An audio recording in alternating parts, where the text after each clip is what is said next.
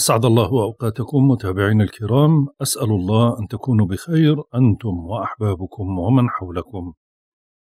طبعا اليوم توقعاتنا ليوم الجمعة 24 كانون الأول ديسمبر.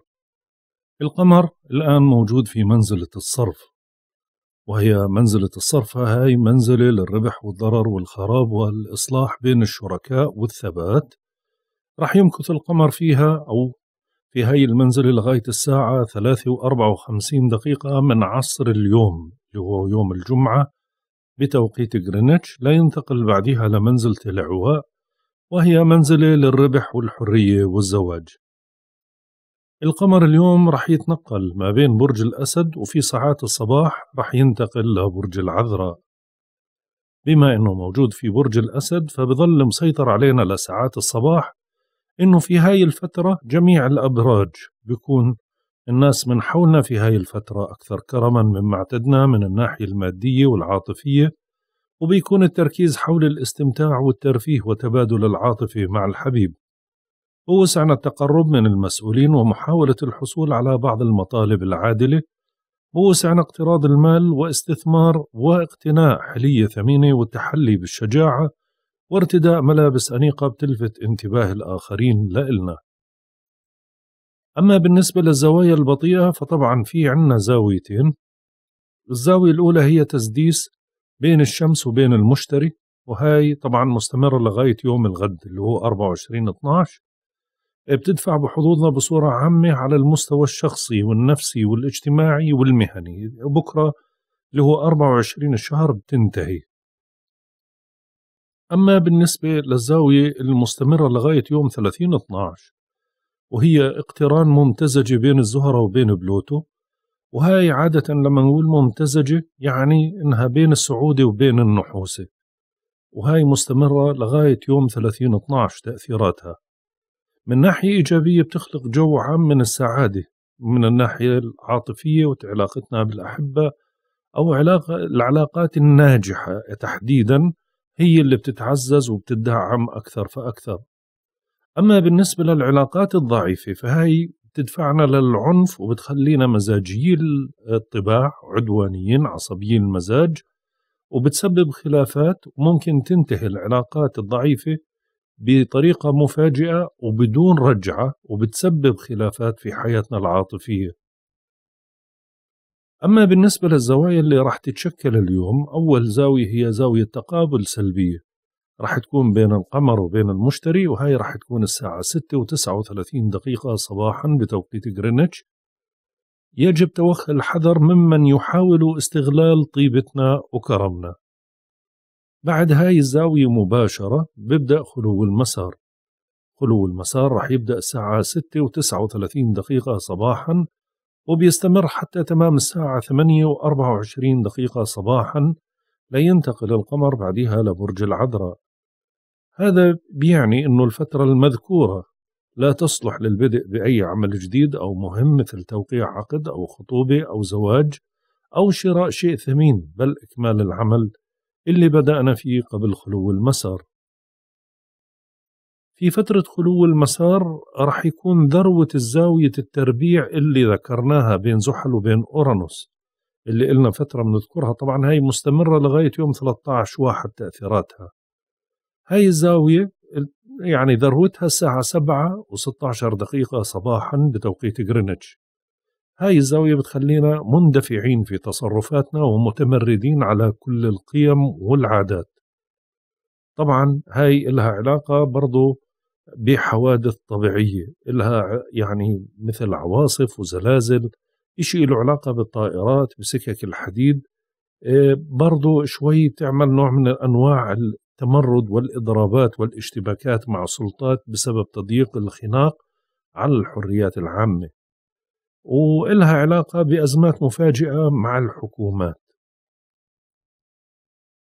بالنسبة للقمر الساعة 8 و24 دقيقة صباحا بنتقل وبستقر في برج العذراء طبعا بتوقيت غرينتش. تتغير على طول الخط نفسيتنا وبصير يأثر علينا بشكل واضح اللي هي تأثيرات برج العذراء. منعود الآن لطبيعتنا الجادة ومننتبه أكثر لصحتنا بممارسة إما تمارين رياضية أو البدء بحمية بتساعدنا في المحافظة على وزن مناسب. بنقبل على عملنا بهمة ونشاط ما بنترك واردة أو شاردة دون تفحصها. بنجد أنه عنصر التنظيم في عملنا بيلعب دور هام. نشعر أنه الناس شحيحون في عطائهم ماديا وعاطفيا. ممكن ننتقد أنفسنا أو نتوهم أمراض ما إلها أي وجود يعني زي وسواس. هاي أفضل فترة للتخلص من عادات سيئة مثل التدخين شرب الكحول أو المهدئات بوسعنا اقتناء حيوان أليف مطالعة كتاب مفيد البدء بوظيفة أو عمل جديد وزي ما حكينا هي لفترة جيدة للي بدهم يبدأوا ببرنامج حمية أو دايت لتخفيف الوزن. أما بالنسبة للزوايا اللي بعد الانتقال راح تتشكل أول زاوية راح تكون زاوية تثليث إيجابية. راح تكون بين القمر وبين الشمس وهاي راح تكون الساعة ثنتين وأربع دقائق حصرا بتوقيت جرينتش بتخلينا نولي مزيد من الاهتمام لصحتنا وبنتلقى المساندة والدعم من الأصدقاء. نتجه لتغليب العقل ونصبح أكثر قدرة على السيطرة على مشاعرنا. أما بالنسبة للزاوية الأخيرة اللي راح تتشكل هي زاوية تربيع سلبية راح تكون بين القمر وبين المريخ. وهي راح تكون الساعة 11 و 51 دقيقة مساء بتوقيت غرينتش. بيخلق لدينا شعور بالملل هذا الاتصال من أي عمل روتيني. فمنكون بحاجة للهدوء والتحلي بالصبر في أي مسعى منقوم فيه. يفضل أخذ فترة من الراحة لاستعادة نشاطنا من جديد واللي بيكون محبط عاطفيا بثور ثورة عارمة من الغضب. بالنسبة لأعضاء جسمنا اللي بتظل أكثر حساسية بالفترة هاي طبعا من الآن موعد بث الحلقة لغاية ساعات الصباح أهم الأعضاء هي القلب والشريان الأورطي والدورة الدموية ضغط الدم معدل ضربات القلب العمود الفقري الظهر الجانبان. من ساعات الصباح بصير عندنا الأعضاء الأكثر حساسية البنكرياس الأمعاء الدقيقة الأعور القولون الجهاز الهضمي الاثنى عشر المستقيم جهاز الإحساس العيون والأذنين. طبعا هاي الأعضاء هي أكثر حساسية عشان هيك لازم نوفر لها العناية الإضافية. المجموعة الأولى اللي ذكرناها لا يصلح العمليات الجراحية إلها طبعا في إلا للطوارئ طبعا من الآن لغاية الصباح. المجموعة الثانية هاي من الصباح لغاية ما ينتقل القمر من برج العذراء. فما بيجوز أن نعمل عمليات جراحية لإلها إلا إذا كان الأمر اضطراري جدا. طبعا هي فترة مناسبة للعمليات الجراحية إجمالا لأي شيء غير اللي ذكرناه. أهم إشي الحذر أثناء فترة خلو المسار. زي ما حكينا يوصى بإجراء العمليات الجراحية هذا اليوم غير مناسبة للعمليات التجميل مثل الحقن والجراحة تصلح لإزالة الشعر الزائد تصلح لقص الشعر التجميلي والصبغ ولكنها لا تصلح للقص العلاجي. هذا يوم مناسب لمطعوم كورونا ولكن تحذيرات اللي هي البنادول والبراستيمول آه، إذا اضطر الواحد كل ست ساعات حبتين لمدة ثلاث أيام. بالنسبة للقمر بما أنه موجود أو رح ينتقل لبرج العذراء خلو المسار القادم رح يكون يوم الأحد 26 12 بيبدأ في تمام الساعة 8 و39 دقيقة صباحا وبيستمر حتى تمام الساعة 4 و23 دقيقة مساء. يعني طيلة النهار تقريبا. خلو مسار لينتقل القمر بعديها لبرج الميزان. أما بالنسبة لعمر القمر عمر القمر المحدب 20 يوم في تمام الساعة 7 و27 دقيقة مساء. بتوقيت غرينتش بصير 21 يوم نسبة الإضاءة 75% أما بالنسبة لمزاج الكواكب وطباع الكواكب لهذا اليوم الشمس في الجدي حتى يوم 20 واحد سعيد اليوم بنسبة 60% القمر في الأسد ورح ينتقل للعذراء. طبعا رح يمكث في العذراء لغاية يوم 26 12 الآن هو منتحس بنسبة 10% ساعات الصباح بصير منتحس بنسبة 40% بظل مستمر لغاية ساعات المساء تقريبا اللي هي عند غروب الشمس. بعدين برجع منتحس بنسبة 10% عطارد في الجدي حتى يوم 2 واحد سعيد بنسبة 100% الزهرة في الجدي بيتراجع حتى يوم 29 واحد سعيد بنسبة صفر. المريخ في القوس حتى يوم 24 واحد سعيد بنسبة 30% المشتري في الدلو حتى يوم 29 12 سعيد بنسبة 15% زحل في الدلو حتى يوم 4 6 منتحس بنسبة 10% أورانوس في الثور بيتراجع حتى يوم 18 واحد منتحس بنسبة 10% نبتون في الحوت حتى يوم 28 6 سعيد بنسبة 15% بلوتو في الجدي حتى يوم 29 4 سعيد بنسبة 15% وصلنا للتوقعات اليومية. برج الحمل. بتشتد رغبتكم في التقرب من أحبائكم وقضاء وقت ممتع معاهم هاي فترة مثمرة وإيجابية. بتستعيد إشراقتك وبتسحر الكثيرين بحضورك الباهر. الجو مناسب لتلبية الدعوات باستطاعتك المبادرة. الظروف ملائمة لكل الأمور الإيجابية العاطفية. طبعا هذا الموضوع من الآن لغاية ساعات الصباح. من ساعات الصباح بدكم تنتبهوا أكثر لصحتكم لأنه القمر رح ينتقل للبيت السادس اللي هو بيت الصحة وبيت العمل. فعشان هيك بدكم تنتبهوا لصحتكم أكثر. بتجدوا أن العمل بدأ يتراكم عندكم أكثر من المعتاد وبتجدوا صعوبة في إنجاز الكثير من أعمالكم.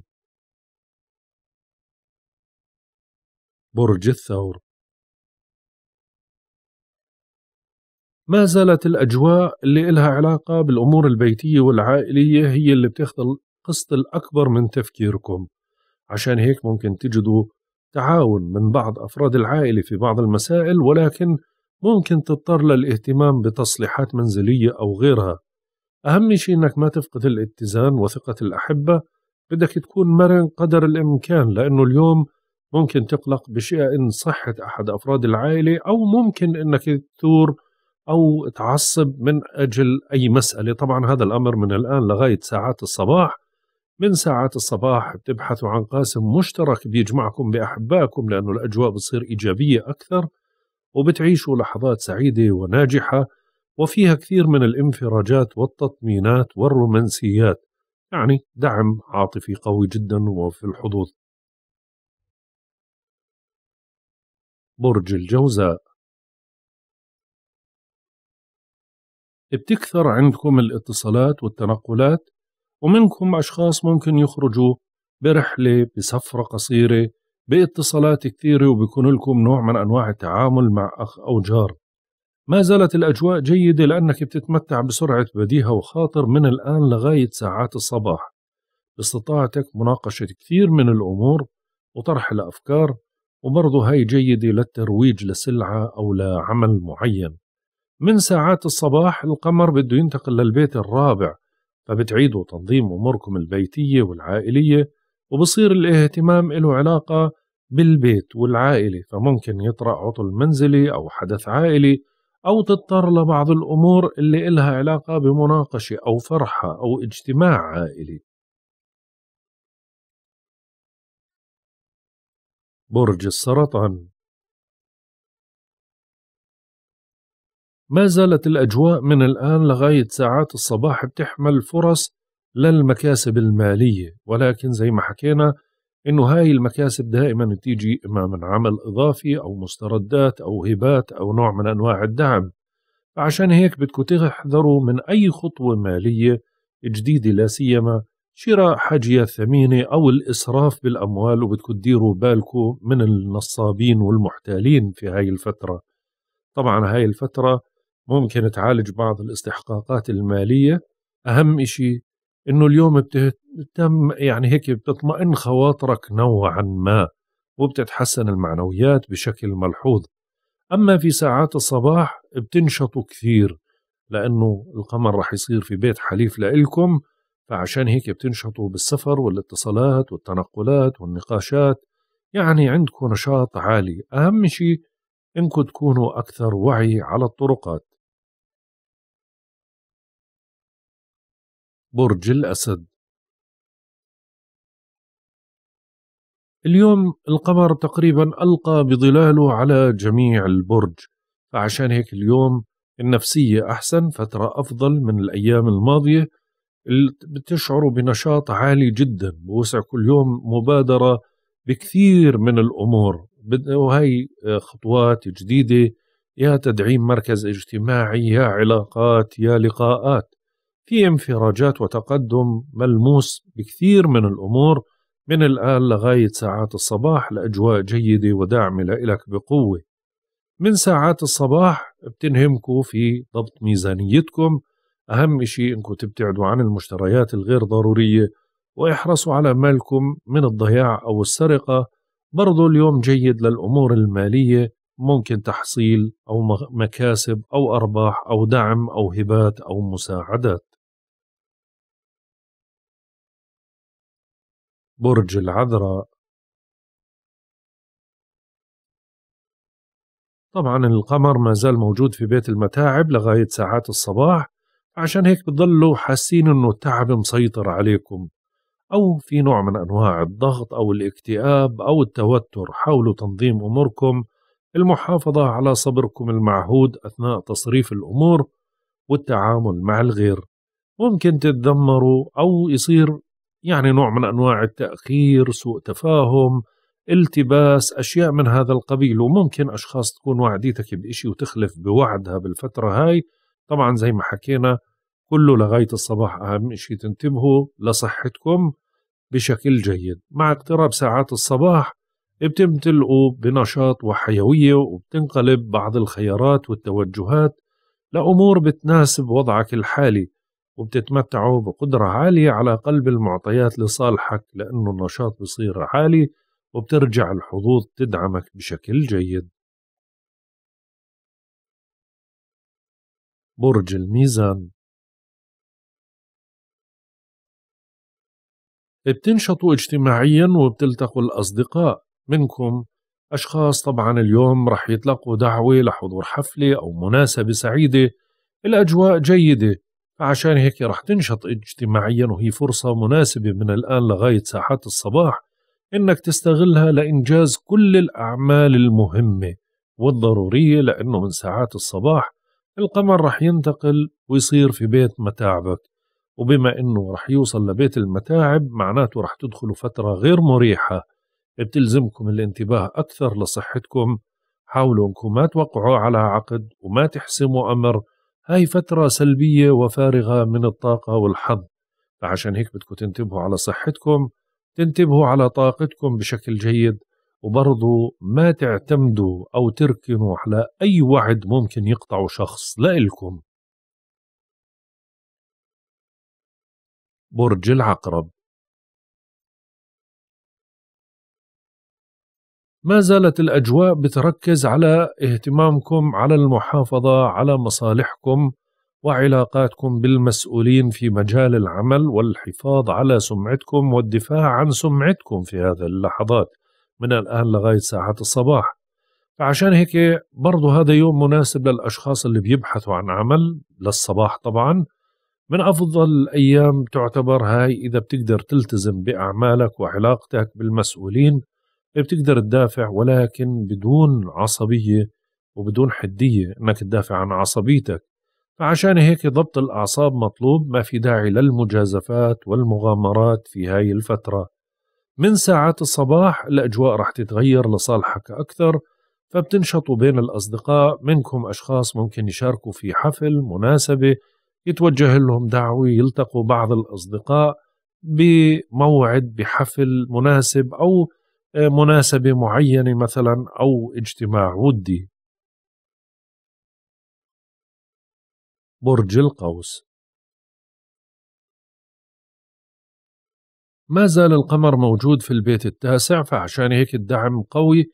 من الآن لغاية ساعات الصباح على مستوى السفر والاتصالات البعيدة والنقاشات والحوارات والامتحانات. ممكن تشارك في حملة أو ورشة عمل وبتشتد رغبتكم في التقرب من أحبائكم وتعزيز العلاقة معهم.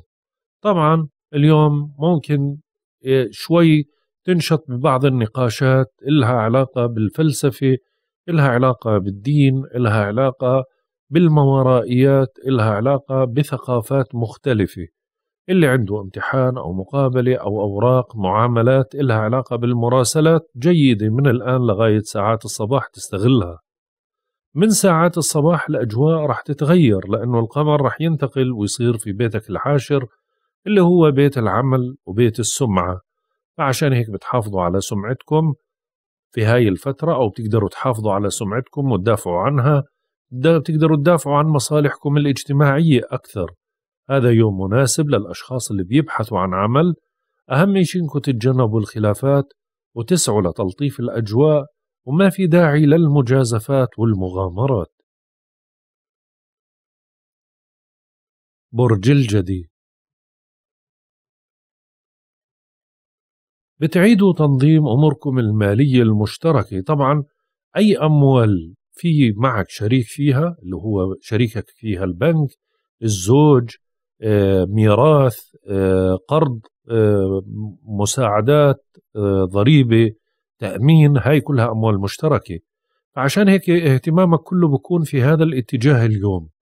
من جهة في فرص مالية مكسبها بيجي شراكة أو تعويض ولكن من جهة أخرى بدك تحذر من أي شراكة مالية وتحذر من النصابين والمحتالين والأشخاص اللي ممكن يستغلوك بالفترة هاي. عشان هيك ما بناسبك اليوم لا الخلاف ولا الزعل وحاول إنك تقرب وجهات النظر بينك وبين معارفك من الآن لغاية ساعات الصباح. من ساعات الصباح طبعا الأجواء بتتغير بإيجابية أكثر لأنكم بتنشطوا في أمور لها علاقة بالسفر الاتصالات البعيدة تعامل مع الأجانب أشخاص خارج البلاد آه، امتحانات جامعية أوراق القانونية القضايا القضائية كلها هاي ممتازة ودعم لكم. أهم شيء تكونوا أكثر وعي على الطرقات خاصة أثناء قيادة السيارة بين المدن. برج الدلو بترغبوا في تدعيم شراكاتكم وهذا يوم مناسب للقيام بعمل بيتطلب تعاون من طرف ثاني. ولكن إنه القمر ما زال موجود مقابلك لغاية ساعات الصباح فعشان هيك ما تنفعل. وما تعصب وما تعمل مشاكل ما بينفعك اليوم لا التوتر ولا الجدال خصوصا من الآن للصباح. بدك تناقش كل الأمور بموضوعية أعصاب باردة ما تتسرع باتخاذ القرارات. في ساعات الصباح الأجواء بتتغير إيجابيا. بتعيدوا تنظيم أموركم المالية المشتركة انجزوا الواجبات بدقة حتى ولو كثرت. حاولوا تنفيذها دون تردد وحاولوا انكم ما تلتهوا بالأمور الثانوية. الاجواء بتصير إيجابية على المستوى المالي ولكن بدكم تحذروا من بعض الأشخاص اللي ممكن يستغلوكم ماليا أو من نصابين محتالين. وما في داعي بالفترة هاي لا تكفل حد ولا تداين حد ولا تضمن حد. برج الحوت. ما زال القمر موجود في البيت السادس من الآن لغاية ساعة الصباح. فعشان هيك بظل العمل بيتراكم عندكم أو عندكم كثير من الأعمال الموكلة لإلكم. أعمال بيت أعمالكم في الشغل أعمالكم آه، على مستوى حياتكم الطبيعية. عندكم أكثر من عمل بدكم تنجزوهم مع بعض. آه، هاي كلها مربكة بالنسبة لكم عشان هيك بدك تنظم الوقت بشكل جيد. وتنجزوا ما بوسعكم من عمل دون المبالغة في ذلك. وبرضو بدكم تنتبهوا لغذائكم وتنتبهوا لراحتكم وتنتبهوا لصحتكم. ولا تسمح للواجبات بأنها تتراكم عليك. بدك تحسن إدارة الوقت بمعنى آخر. من ساعات الصباح الأجواء طبعا بتتغير إيجابيا ولكن فيها نوع من أنواع السلبية. بترغبوا في تدعيم شراكاتكم وتعزيزها أكثر وعلاقتكم مع الأزواج وبتحمل نوع من أنواع أجواء المصالحة أو مصالحتكم مع الشركاء. ولكن بدكم تكونوا أكثر تفهما لوجهة نظرهم وبدكم تحذروا من الخلافات وحاولوا ما تضخموا الأمور. يعني بمعنى آخر طاقتكم ضعيفة الفترة هاي لا تصلح للمشاكل. هيك بنكون انتهينا من توقعاتنا لهذا اليوم. والله أعلم. يا رضا الله ورضا الوالدين سبحانك اللهم وبحمدك أشهد أن لا إله إلا أنت. أستغفرك وأتوب إليك. أترككم في رعاية الله وحفظه. إلى اللقاء.